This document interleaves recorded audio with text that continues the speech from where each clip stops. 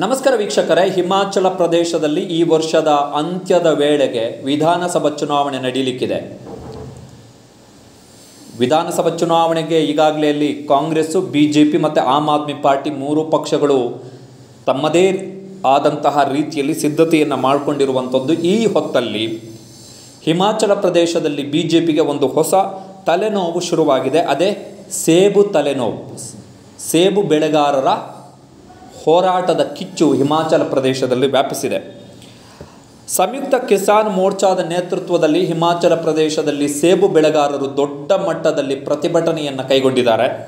ಅವರ ಆಕ್ಷೇಪ ಏನು ಅಂತ ಹೇಳಿದ್ರೆ, ಕಾರ್ಟನ್ ಬಾಕ್ಸ್ ಮತ್ತು ಟ್ರೇಗಳ ಮೇಲೆ ಶೇಕಡ ಹನ್ನೆರಡರಷ್ಟಿದ್ದ ಜಿ ಎಸ್ ಟಿಯನ್ನು ಶೇಕಡ ಹದಿನೆಂಟಕ್ಕೆ ಹೆಚ್ಚಳ ಮಾಡಲಾಗಿದೆ ಅಂಥೇಳಿ ಅಂದರೆ ಶೇಕಡ ಆರರಷ್ಟು ಹೆಚ್ಚಳ ಮಾಡಲಾಗಿರುವಂಥದ್ದು ಕಾರ್ಟನ್ ಬಾಕ್ಸ್ ಅಂತ ಹೇಳಿದ್ರೆ, ಸೇಬುಗಳನ್ನು ಪ್ಯಾಕ್ ಮಾಡಲಿಕ್ಕೆ ಬಳಸುವಂತಹ ರಟ್ಟಿನ ಬಾಕ್ಸು ಮತ್ತು ಟ್ರೇಗಳೇನಿದೆ, ಅವುಗಳ ಮೇಲಿನ ಜಿ ಎಸ್ ಟಿ ಹೆಚ್ಚಳದಿಂದಾಗಿ ಸೇಬು ವ್ಯಾಪಾರದಲ್ಲಿ ಹಿನ್ನಡೆ ಆಗಿದೆ ಎನ್ನುವಂಥದ್ದು ಸೇಬು ಬೆಳೆಗಾರರ ದೊಡ್ಡ ಮಟ್ಟದ ಆಕ್ರೋಶ ಈ ಹಿನ್ನೆಲೆಯಲ್ಲಿ ನಿನ್ನೆ ಹಿಮಾಚಲ ಪ್ರದೇಶದಲ್ಲಿ ರೈತರು ದೊಡ್ಡ ಪ್ರಮಾಣದಲ್ಲಿ ಸಂಯುಕ್ತ ಕಿಸಾನ್ ಮಂಚ್ ನೇತೃತ್ವದಲ್ಲಿ ನಿನ್ನೆ ಪ್ರತಿಭಟನೆಯನ್ನು ಕೈಗೊಂಡಿದ್ದರು ಇಲ್ಲಿ ಗಮನಿಸಬೇಕಾದಂಥ ಅಂಶ ಏನು ಅಂತ ಹೇಳಿದ್ರೆ ಮೂವತ್ತು ವರ್ಷಗಳ ಬಳಿಕ ಹಿಮಾಚಲ ಪ್ರದೇಶದಲ್ಲಿ ನಡೆದಂತಹ ಅತಿ ದೊಡ್ಡ ರೈತರ ಪ್ರತಿಭಟನೆ ಅಂತ ಹೇಳಿದ್ರೆ ನಿನ್ನೆಯ ಪ್ರತಿಭಟನೆ.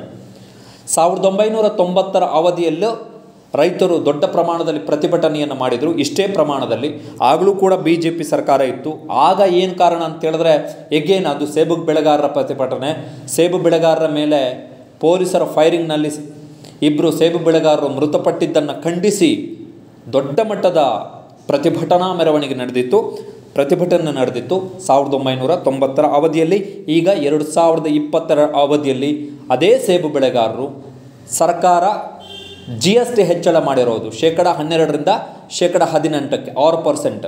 ಸೇಬುಗಳನ್ನು ಪ್ಯಾಕ್ ಮಾಡುವಂತಹ ಕಾರ್ಟನ್ ಬಾಕ್ಸ್ ಮತ್ತು ಟ್ರೇಗಳ ಮೇಲೆ ಜಿ ಎಸ್ ಟಿ ಹೆಚ್ಚಳ ಮಾಡಿರೋದನ್ನು ಖಂಡಿಸಿ. ಯಾಕೆ ಈ ಸೇಬು ಬೆಳೆಗಾರರು ಅಷ್ಟು ಇಂಪಾರ್ಟೆಂಟ್ ಹಿಮಾಚಲ ಪ್ರದೇಶದಲ್ಲಿ ಅಂತ ಹೇಳಿದ್ರೆ, ಹಿಮಾಚಲ ಪ್ರದೇಶ ಎಗೇನ್ ಜಮ್ಮು ಕಾಶ್ಮೀರ ಬಿಟ್ಟರೆ ಅತಿ ಹೆಚ್ಚು ಸೇಬು ಬೆಳೆಯುವಂತಹ ರಾಜ್ಯಗಳ ಪೈಕಿ ಹಿಮಾಚಲ ಪ್ರದೇಶವೇ ನಂಬರ್ ಟೂ ಸ್ಥಾನದಲ್ಲಿರುವಂಥದ್ದು. ಸುಮಾರು ಐದು ಸಾವಿರ ಕೋಟಿ ರೂಪಾಯಿ ಮೊತ್ತದ ವಾರ್ಷಿಕ ವ್ಯವಹಾರ ಆಗುತ್ತೆ.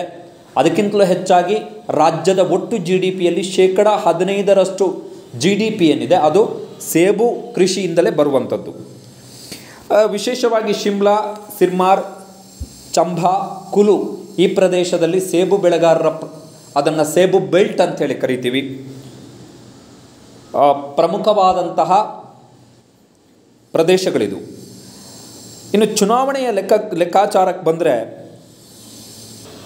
ಸೇಬು ಬೆಳೆಯುವಂತಹ ಎರಡು ಜಿಲ್ಲೆಗಳ ಒಂಬತ್ತು ಕ್ಷೇತ್ರಗಳ ಪೈಕಿ ಕಳೆದ ಬಾರಿ ಬಿ ಜೆ ಪಿ ಏಳರಲ್ಲಿ ಗೆದ್ದಿತ್ತು.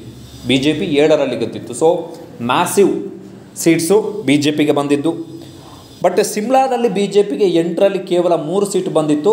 ಉಪಚುನಾವಣೆಯಲ್ಲಿ ಒಂದು ಸೀಟನ್ನು ಕಳ್ಕೊಂಡು ಎರಡನೇ, ಎರಡು ಸೀಟಿಗೆ ಇಳೀತು ಸೊ ಬಿ ಜೆ ಪಿಗೆ ಈ ಸೇಬು ಬೆಲ್ಟ್ ಏನಿದೆ, ಅಲ್ಲಿ ದೊಡ್ಡ ಪ್ರಮಾಣದಲ್ಲಿ ವೋಟ್ ಬ್ಯಾಂಕ್ ಇರುವಂಥದ್ದು. ಬಟ್ ಈಗ ಅದೇ ಸೇಬು ಬೆಳೆಗಾರರು ಬಿ ಜೆ ಪಿ ಸರ್ಕಾರದ ವಿರುದ್ಧ ಸಿಡಿದೆದ್ದಿದ್ದಾರೆ ಬಿ ಜೆ ಪಿ ಸರ್ಕಾರ ನಮಗೆ ಅನ್ಯಾಯ ಮಾಡ್ತಿದೆ ಅಂತೇಳಿ. ಇದ್ರ ಜೊತೆಗೆ ಜಿ ಎಸ್ ಟಿ ಮಾತ್ರ ಅಲ್ಲ, ವಿದೇಶದಿಂದ ಆಮದು ಮಾಡಿಕೊಳ್ಳಲಾಗುತ್ತಿರುವಂತಹ ಸೇಬಿನ ಮೇಲೆ ಆಮದು ಸುಂಕವನ್ನು ಹೆಚ್ಚಳ ಮಾಡಬೇಕು, ಕಮ್ಮಿ ಮಾಡೋದಲ್ಲ. ಯಾಕಂತ ಹೇಳಿದ್ರೆ ಅಮೆರಿಕ ಸೇರಿದಂತೆ ಹಲವು ದೇಶಗಳಿಂದ ಭಾರತಕ್ಕೆ ಸೇಬುಗಳ ಆಮದು ಜಾಸ್ತಿ ಆಗ್ತಿರುವ ಹಿನ್ನೆಲೆಯಲ್ಲಿ ಭಾರತದಲ್ಲೇ ಬೆಳೆದಿರುವಂತಹ ಸೇಬಿಗೆ ಬೆಲೆ ಕಡಿಮೆ ಆಗ್ತಿದೆ, ಅದು ರೈತರಿಗೆ ನಷ್ಟ ಉಂಟು ಮಾಡ್ತಿದೆ.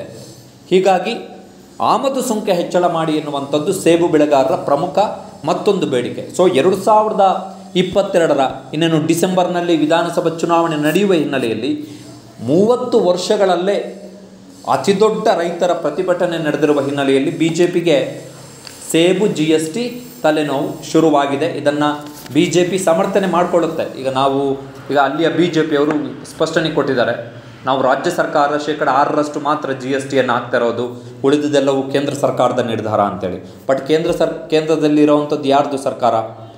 ಪ್ರಧಾನಿ ನರೇಂದ್ರ ಮೋದಿ ಅವರ ಸರ್ಕಾರ. ಕೇಂದ್ರ ಸರ್ಕಾರಕ್ಕೆ ಜಿ ಎಸ್ ಟಿ ಕೌನ್ಸಿಲಲ್ಲಿ ವೋಟಿಂಗ್ ಪವರ್ ಜಾಸ್ತಿ ಇದೆ. ಅವ್ರಿಗೆ ಅವರ ಮಾತಿಗೆ ಬೆಲೆ ಜಾಸ್ತಿ ಇದೆ. ನಿರ್ಧಾರ ಅವರೇ ಮಾಡಬೇಕು, ಅವರು ಮಾಡಬೇಕು. ಸೊ ಸೇಬು ಪ್ರತಿಭಟನೆ ಹಿಮಾಚಲ ಪ್ರದೇಶದಲ್ಲಿ ಬಿ ಜೆ ಪಿಗೆ ದೊಡ್ಡ ತಲೆನೋವಾಗಿ ಕಾಡಬಹುದು.